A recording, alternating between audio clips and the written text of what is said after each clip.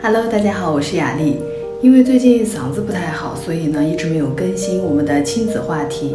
那今天给大家分享亲子教育的第十课：建立家庭支持网络的重要性及方法。那什么是家庭支持网络呢？在这里呢，雅丽给大家解释一下。所谓的支持网络，是指家庭成员、亲戚、朋友或者是我们社区里面的资源组成的一个系统。那它的目的是给我们提供支持、关心和资源，以帮助我们的家庭应对生活中的各种挑战和压力。那么这个网络呢，是可以包括情感上的支持、信息之间的共享，或者是实际上的帮助。以及在困难的时候提供安全感和稳定性，这种相互的支持的结构呢，助于加强家庭的韧性和适应能力。像我们身处在国外的家庭，快速的建立家庭的支持网络是非常重要的，因为这将有助于缓解我们适应新环境的压力，同时呢，提供情感上的支持，并且获得当地的资源和信息。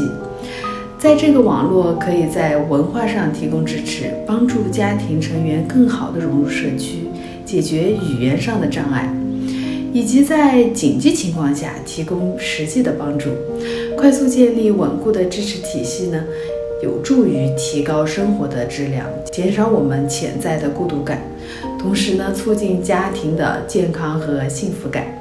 那下面就来讲讲，我们可以通过哪些方式来帮助自己建立良好的家庭支持网络。首先，第一点呢，就是社交活动和群体的参与。比如说，我们参与到当地社区组织的一些节日聚会啊、逛逛集市或者是文化活动，也可以参与社区的一些义工服务，加入到他们运动的一些俱乐部或者是自己喜欢的一些兴趣小组。那通过这些活动呢，你能够结识到志同道合的人，逐渐的建立互相支持的一个关系。那么我现在的手机上就会有很多的一些微信群，比如说撸铁的呀、健身的呀、跳尊巴的呀等等，或者是出去带孩子遛弯什么的都有。那么第二点呢，就是我们可以利用社交媒体。那在当地呢，会有很多的社交媒体平台，我们可以在上面搜索相关的一些群组，比如说他们的社区论坛、Facebook 里的一些兴趣群，或者是小区在线的一些社交圈，我们可以积极的参与讨论，寻找相同兴趣爱好的人。那线上建立联系呢，我们可以把它在适当的时机转移到线下的交往。第三呢，就是可以参加社区的活动。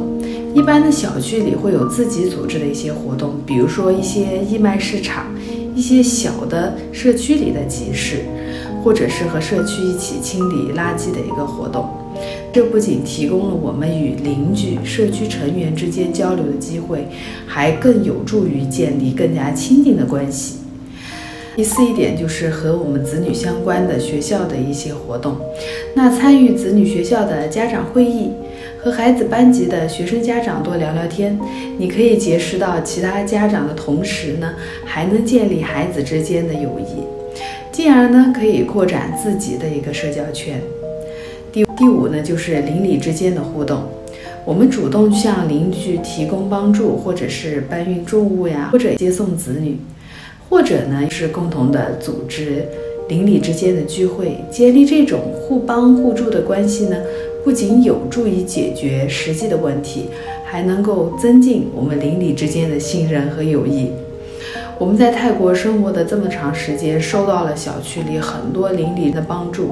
他们热心而且负责。他如果是能帮助你，他一定会一帮到底。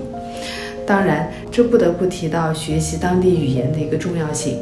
当你用他们的母语和他们进行沟通的时候呢，他们会非常的高兴，而且也很乐意去帮助你提升自己的语言技能，并且呢，掌握当地的语言也能够帮助你在很多的时候处理生活中的各类事务，获取更多当地一些有效的资源和信息。